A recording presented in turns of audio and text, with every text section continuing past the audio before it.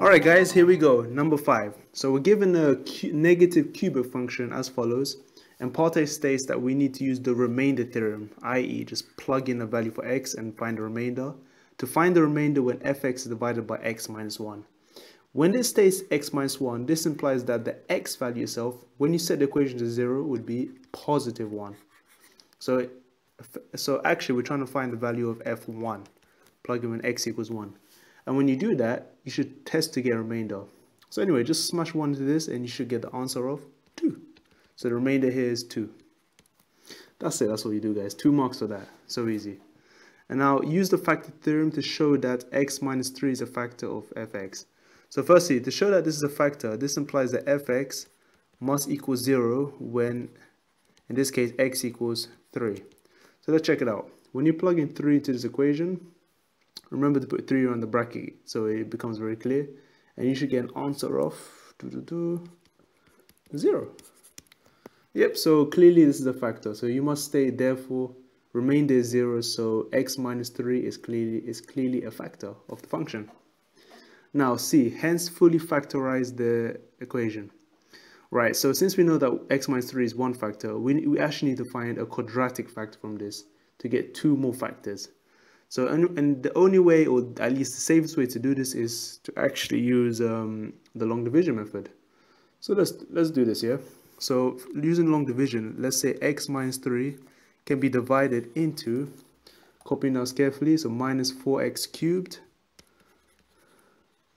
plus, let me check, 16x squared minus 13x, x squared minus 13x plus 3. All right, so let's go ahead and do this here.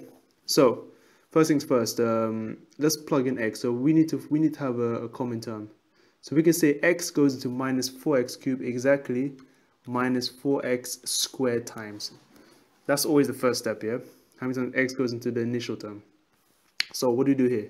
So now you just multiply. So you say, okay, so 4x squared multiply the linear expression will firstly give us minus 4x cubed and then plus 12x squared. Easy. Now you just subtract. You just do as you do for long division. So 6x squared minus 12x squared will give us 4x squared. We already know that the first two terms they give us 0. And now what do you do next? Well, you just drop the minus 13x. It becomes minus 13x. Then we ask ourselves, how many times x fit into 4x squared? Well, it fits in exactly 4x times. So 4x times the linear expression will give us 4x squared minus 12x. Subtracting this, you should get minus 13 minus minus 12 will give us minus x. Drop the 3, as always. And then do the same thing. How many x is fit into minus x? Fits in negative 1 times. Just make sure it's all clear. And then here you just do minus 1 times the linear expression. It should give us minus x plus 3. And then subtracting this should give us a remainder of 0. So yes, we actually done it correctly.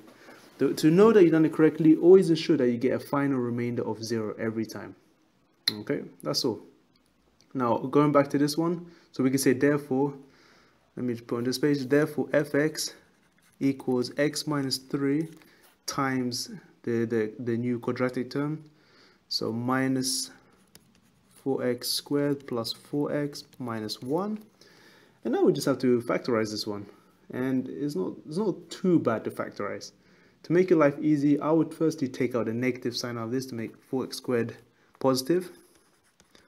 So we could just say put a dot here. So if we take the negative sign, we're going to have minus um, 4x squared minus 4x plus 1. And now factorizing this one, you should actually get, let's see, da -da -da, let's have a look. Factoring this part you can put 2x here and 2x here. And yeah it's actually quite easy. Because you you got ones on both sides it will have to be plus one for, uh, minus one for both sides. Reason being is that we need to get negative 4x and the only way to get negative 4x is that we need to have minus 2x twice. So 2x times minus 1 is negative 2x minus 1 times 2 is another negative 2x so it gives us a negative 4x and of course we leave the minus sign outside and x minus 3. And just to get rid of this ugly minus sign, just times the minus sign to x minus 3 and it becomes what? 3 minus x. Everything rotates.